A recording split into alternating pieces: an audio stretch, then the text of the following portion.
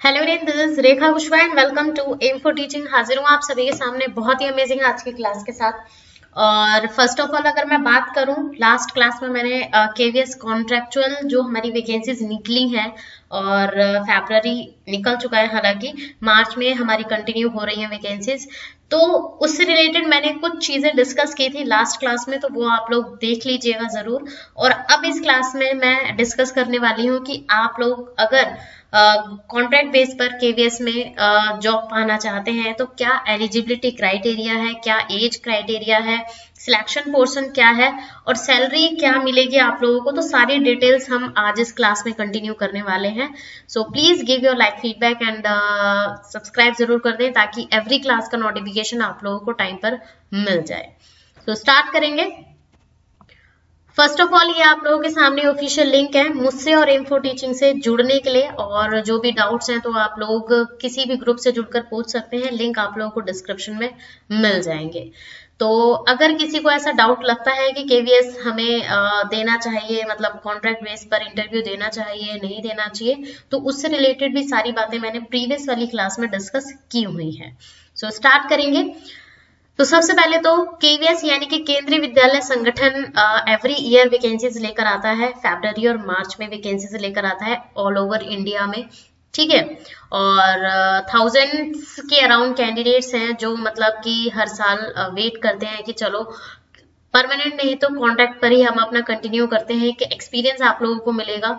और कहीं ना कहीं आप कहीं ना कहीं कुछ सीखने के एलिजिबल हो पाएँगे। तो वो सारी की सारी चीज़ें एक पॉजिटिव सपोर्ट है कॉन्ट्रैक्ट पर।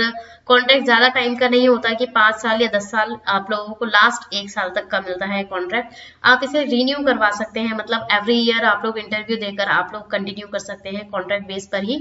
पर परमानेंट के लिए आप लोगों का अलग प्रोसेस है और जो कॉन्ट्रैक्ट है उसका अलग प्रोसेस है। ठीक है? तो ये बात भी आप लोग याद रखेंगे और हाँ अब आगे बढ़ते हैं। सबसे पहले तो एलिजिबिलिटी देख लीजिए कि कौन कौन से कैंडिडेट्स हैं जो एलिजिबल है फिल करने के एक तरीके से पीआरटी बेस्ड तो जो कैंडिडेट्स है, जिन कैंडिडेट्स के पास ट्वेल्थ क्लास में 50 परसेंट मार्क्स थे, वो एलिजिबल है, ठीक है? Passed in the central teaching यानी कि टीचर एलिजिबिलिटी टेस्ट यानी कि सीटेट आप लोगों का होना चाहिए, और इंग्लिश और हिंदी लैंग्वेज आप लोगों की होनी चाहिए ट्वेल्थ क्लास में। इस बात का भी एक तरीके से गौर रखिएगा मतलब ध्यान रखिएगा। अब यहाँ पर देखिए सीनियर सेकेंडरी तो बता दिया है बट इसके साथ कोई डिप्लोमा नहीं बताया तो मैं आप लोगों को क्लियर कर दूँ यहाँ पर कि आपकी ट्वेल्थ प्लस टीचिंग डिप्लोमा होना चाहिए। टू ईयर का हो टू ईयर का हो वो भी चल चल जाएगा यहाँ पर। ठीक है? B L Ed B L Ed भी चल जाएगा। याद रखेंगे बी एल एड भी चल जाएगा आप लोगों का। बी एड भी चल जाएगा यहाँ पर। बट सीटेड आप लोगों का पेपर वन क्वालिफाई होना चाहिए। Only paper one paper two वाले एलिजिबल नहीं माने जाएँगे। ओनली पेपर वन यहाँ पर आपका होना चाहिए। मैंडेटरी है कॉन्ट्रैक्ट uh, के लिए भी। ठीक है? आगे बढ़ेंगे। आगे बढ़ने से पहले लास्ट पॉइंट दे रखा है desirable qualification computer knowledge of आप लोगों को बेसिक नॉलेज कंप्यूटर की होनी चाहिए। जो बेसिक चीज़ें हैं, वो आप लोगों को पता होनी चाहिए। आगे बढ़ेंगे। टीजीटी में देखिए, आप लोगों के पास क्या होने चाहिए? एक तरीके से फोर ईयर का डिप्लोमा कोर्स होता है, जो जिसे हम बी कहते हैं। ठीक है बी है, वो भी आप लोगों का चल जाएगा। ठीक है और ग्रेजुएशन प्लस बीएड है आप लोगों की तो टीजीटी में वो भी आप लोगों की चल जाएगी 50 परसेंट मार्क्स के साथ, जो मतलब ग्रेजुएशन 50 परसेंट मार्क्स माँगता है। बीएड यहाँ पर एलिजिबल मानी जाती है, या कोई ऐसा कोर्स बट यहाँ पर याद रखेंगे डीएड जेबीटी बीटीसी ये सब एलिजिबल नहीं होते टीजीटी में। ठीक है, वो सिर्फ़ पीआरटी में है। और आप लोगों का पेपर वन एंड टू दोनों में से कोई भी आपका आ, मतलब एलिजिबल हो क्वालिफाइड हो आप दोनों में से तो आप दे सकते हैं टीजीटी ऐसा कोई इशू नहीं है कि सिर्फ़ पेपर टू ही होना चाहिए। पेपर वन वाले कैंडिडेट्स भी टीजीटी दे सकते हैं। ठीक है?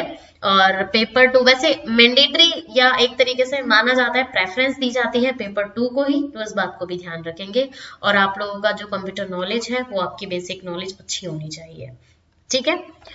अब है हमारा पीआरटी हो गया टीजीटी हो गया पीजीटी पर पढ़ते हैं।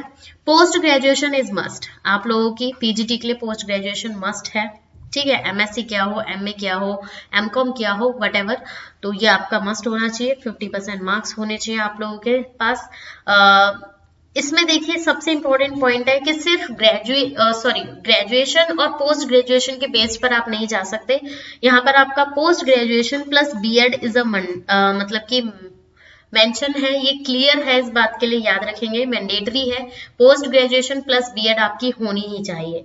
सीटेट की कोई वैल्यू नहीं है सीटेट आपका हो ना हो, कोई इससे इशू नहीं है, ठीक है? ये दोनों आपके हैं तो आप एलिजिबल हैं, हिंदी और इंग्लिश लैंग्वेजेस आपको अच्छे से आनी चाहिए। बट लास्ट पॉइंट देखिए, यहाँ पर लिखा हुआ है candidate having special BEd special BEd कौन सी होती है? जो स्पेशल कैंडिडेट्स के लिए होती है ना मतलब स्पेशल स्टूडेंट्स को पढ़ाने के लिए स्पेशल एजुकेटर वाली जो बीएड होती है, वो एलिजिबल नहीं मानी जाएगी इसके अंदर। इस बात को याद रखें नॉर्मल जो बीएड होता है, वो एलिजिबल होगा।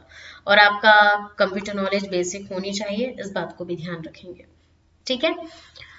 हाँ अब आगे बढ़ते हैं। सिलेक्शन पोर्शन क्या है? तो देखिए सिलेक्शन पोर्शन आप लोगों को मैं बता देती हूँ।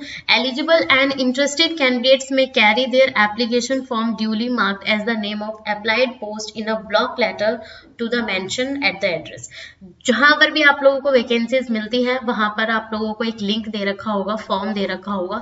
उस फॉर्म को आप लोगों को प्रिंट करके निकलवाना है, वो फॉर्म फिल करना है।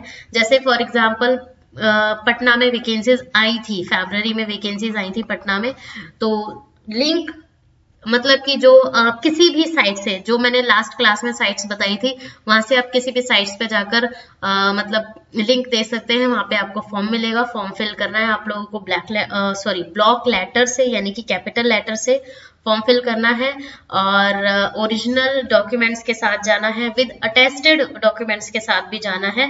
मतलब ओरिजिनल डॉक्यूमेंट की फ़ाइल अलग होगी और जो कॉपी करके आप लोग मतलब कि अपनी निकलवाएँगे और डॉक्यूमेंट्स की फोटोकॉपी उनको अटेस्ट करके आप लोगों की अलग फ़ाइल होगी। तो उसमें आप लोगों का होना चाहिए सब कुछ और पासपोर्ट साइज़ रिसेंटली वाला जो पासपोर्ट साइज़ है वो होना चाहिए, ठीक है? Final selection will be decided on the interview only interview आप लोगों का होगा और फिर इंटरव्यू के बाद आप लोगों के पास कॉल आएगा एक दो महीने में और फिर वहाँ पर आपका सिलेक्शन हो जाता है। तो इस बात को ध्यान में रखेंगे। ठीक है? एज क्राइटेरिया एज अभी मैं बता देती हूँ। वैसे चलिए मैं क्लियर ही कर देती हूँ। पीआरटी के लिए एज मैं बता देती हूँ पीआरटी के लिए। ठीक है? पीआरटी के लिए जो एज होगी वो थर्टी ईयर्स है। तीस साल के मतलब तीस साल तक आप लोग कर सकते हैं फिल टीजीटी कैंडिडेट्स के लिए है थर्टी फाइव ईयर्स ठीक है? और पीजीटी कैंडिडेट्स के लिए है फोर्टी ईयर्स तो इस बात को याद रखेंगे और इसमें कोई ऐसा इशू नहीं है। तो हाँ। और सैलरी आप लोग देख सकते हैं। सैलरी यहाँ पर आप लोगों को दे रखी है कि आप लोगों को जो मिलेगी मतलब कि जो मिलेगी वो ये वाली सैलरी मिलेगी। पीआरटी में twenty one thousand two hundred fifty है टीजीटी में twenty six thousand two hundred fifty है और पीजीटी में twenty seven thousand five hundred है। और ये आप लोगों की एक्चुअल सैलरी होती है। इसमें से जो कटता है, कटने के बाद आप लोगों की मिलेगी वैकेंसीज के अकॉर्डिंग एवरी ईयर देखिए। वैकेंसीज तो निकलती हैं बट इस बात को ध्यान में रखेंगे। कई बार ऐसा हो जाता है कि हम आ, सिर्फ़ कॉन्ट्रैक्ट पर ही भागते रहते हैं। कॉन्ट्रैक्ट का वेट आप हर साल मतलब आता रहता है वो तो आपका एक्सपीरियंस है कि आप एक्सपीरियंस लेना चाहते हैं इसलिए करना चाहते हैं वो भी करिए। बट परमानेंट वैकेंसीज आएँगी तो उसके लिए आप लोगों को वेट नहीं करना है। उसके लिए तो आप लोगों को कंटिन्यू रखना ही है सारी चीज़ें रखनी है। ठीक है? तो ये सैलरी था एज क्राइटेरिया और बाकी जो आप लोगों के क्वेश्चन हैं तो वो आप लोग कमेंट सेक्शन में पूछ सकते हैं। बाकी मैंने सारी चीज़ें आप लोगों को क्लियर कर दी हैं। हम्म। तो मिलते हैं नेक्स्ट क्लास में। So give your like feedback and positive feedback and support बिल्कुल। और जो भी डाउट्स हैं, आप लोग किसी भी लिंक से जुड़कर पूछ सकते हैं। So thanks for watching keep learning